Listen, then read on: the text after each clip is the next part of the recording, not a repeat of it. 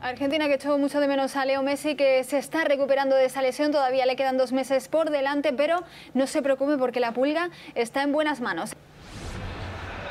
Messi estará dos meses de baja, otra vez por culpa de su bíceps femoral. Pero ¿por qué siempre se lesiona en el mismo músculo?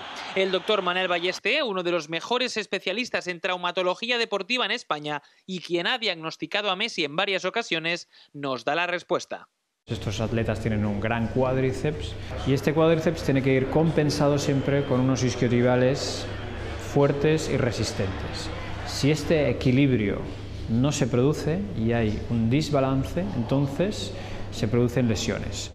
Pero la razón de las continuas lesiones de Messi no solo está en su maltrecho músculo, hay muchos otros factores a tener en cuenta. Si el jugador ha tenido una lesión previa, si no tiene una buena nutrición, si tiene una sobrecarga de entrenamientos, una sobrecarga de partidos, poco descanso, si hay problemas o el jugador no está bien motivado, no está bien mentalmente, hay algún problema y no se concentra bien. Se rompe este círculo y, y empiezan a surgir las lesiones.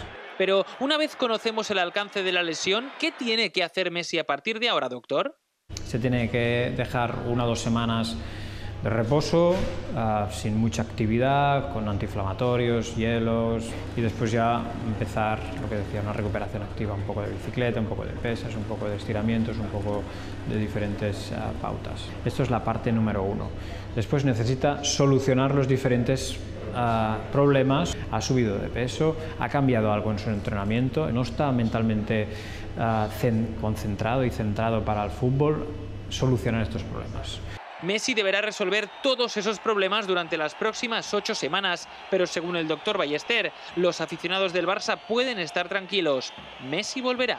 No nos hemos de preocupar, esto se recuperará y seguiremos viendo el mejor jugador, la mejor actuación, las mejores jugadas. Hemos de dejar un poco de paciencia y que se reconduzca todo.